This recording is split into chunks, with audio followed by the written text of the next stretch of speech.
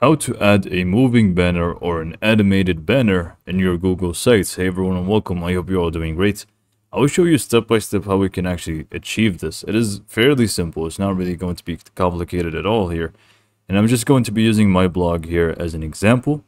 So basically, uh, we want to change this 2024 banner into a uh, moving banner basically, or an animated banner. So the first step is actually getting uh, some sort of a animation uh, banner going, so a design that we actually require, and we can achieve this by going to canva.com. It usually just saves us uh, all the design problems, really.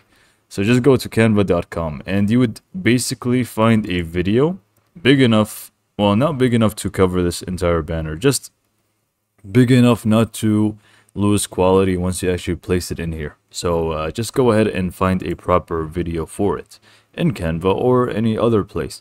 So if you actually have a video on YouTube that you want to use as a banner, you can just go ahead and upload it to Canva and we can work from there. So I'm just going to go ahead and find a video and get back to you.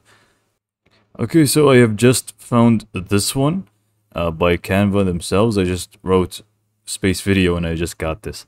So I'm just going to click on customize this template. And now, uh, basically, now that we have our animation here, uh, what we need to do, uh, it is around 16 seconds. So, okay, I'm just going to keep it as it is. Anyways, what we need to do is um, go to the share option on the top right after you edit it obviously you can edit it uh, completely your uh, own way actually I can just go ahead and trim it and make it shorter just so it is easier for me click on done okay so now it is almost three seconds. What you need to do is just go to the share option on the top right and click on download. And then from here this is the most uh, most important step is you would want to change it to GIF uh, otherwise it's not really going to work. So just change this video to GIF and click on download now it's just going to take a little bit of time and it should be downloaded for us. And I will show you what to do after uh, we download the GIF file. Okay, so now that we have this GIF file, uh, we can just go ahead and go to Google Sites. We can exit out of Canva now. And if we just go to Google Sites, we just go to our banner here and click on image. And then we would want to click on upload.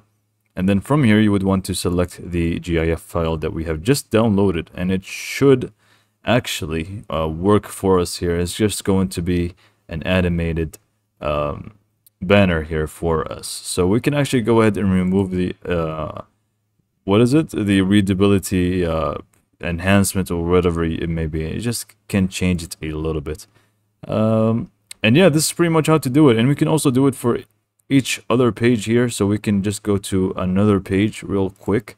Uh, and it's going to work exactly the same. You would want to just click on the image upload and then you would want to select the GIF file basically.